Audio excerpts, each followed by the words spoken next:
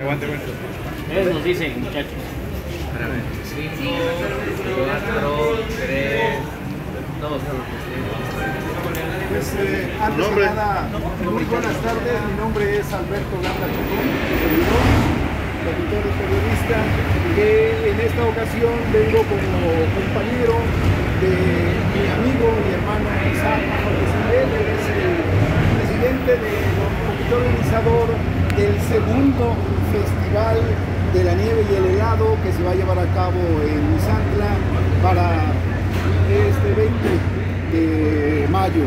Y bueno, es un evento que el año pasado lo llevamos a cabo por primera vez con muy buenos resultados a pesar de las condiciones climáticas de aquí no nos dieron mucha libertad, pero eh, sembramos el precedente y estamos seguros de que este año el evento será muchísimo mejor.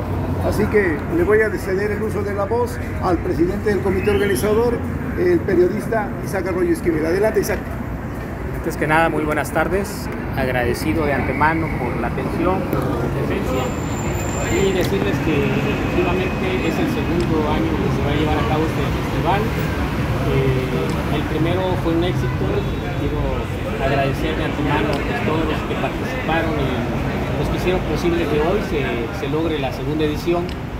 Eh, dentro de este proyecto estamos manejando un concurso dentro del, del evento que aunque no es lo más importante que tenemos, pero sí es este, importante comentar que hay expositores de distintos municipios a los que hemos invitado y que el día de hoy se están inscribiendo ya algunos para participar. A partir de hoy la convocatoria se abre y se espera que muchos de ellos vengan a inscribirse y sobre todo pues que vengan a participar, que, vendan sus productos y que se dé a conocer en Misantla lo que es la historia de- del helado. Tiene más de 80 años. Ustedes ven en la lona, tenemos la imagen de Don Chunco Sayas, un señor que vendió durante 80 años de su vida, ya falleció, es uno de los pioneros del helado y que fue uno de los que nos inspiró a nosotros poder dar visibilidad a esta identidad de Misantla por parte de su gastronomía, en este caso un postre que ya es famoso a nivel estatal y que el día de hoy bueno, pues queremos darle ese resalte a Misantla como uno de los precursores de este producto. En la primera edición, ¿cuántos expositores hubo? ¿Se sabe usted la derrama económica que hubo en esta primera edición? Mira, la primera edición la hicimos el 20 de noviembre. No escogimos una fecha adecuada por la cuestión del clima, nos tocó que hacía frío. Aún así tuvimos cinco expositores y de esos cinco expositores lo que te puedo decir es que todos vendieron su producto al 100%, todos terminaron. Eh, la derrama económica que te puedo decir es que yo le quiero poner unos 10 mil pesos que fue directo al bolsillo de los expositores e independientemente a lo que fue la premiación, que también hubo 5 mil pesos de premiación. Y este año queremos hacerlo un poquito diferente. Eh, el concurso va a ser de manera local para los vendedores de Misantla. Tenemos un padrón aproximado de 20 neveros este, confirmados. Aparte hay otros que venden fuera del, lugar y los que se sumen de, de las rancherías y de otros municipios. Entonces va a ser algo bien importante y la premiación va a ser en este caso en especie artículos que puedan servir para su trabajo. En materia de difusión, ¿no se buscó alguna autoridad o algo para generar más turismo para este evento? Mira, se va a invitar, por supuesto, a la Secretaría de Turismo. Siempre el año pasado también los invitamos. Desgraciadamente coincidimos con un evento que tenían en puerta y no pudieron asistir.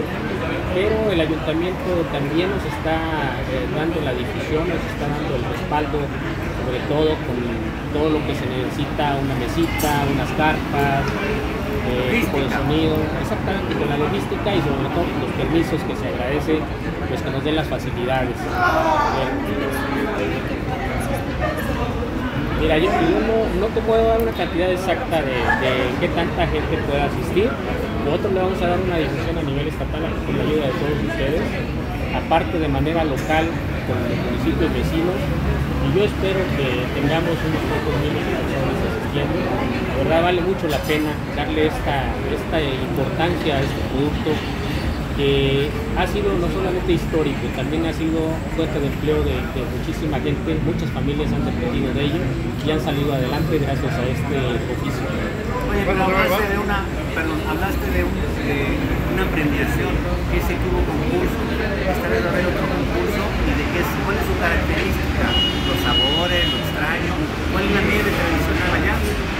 Mira, tenemos varias nieves que nos dan identidad a mi Santa.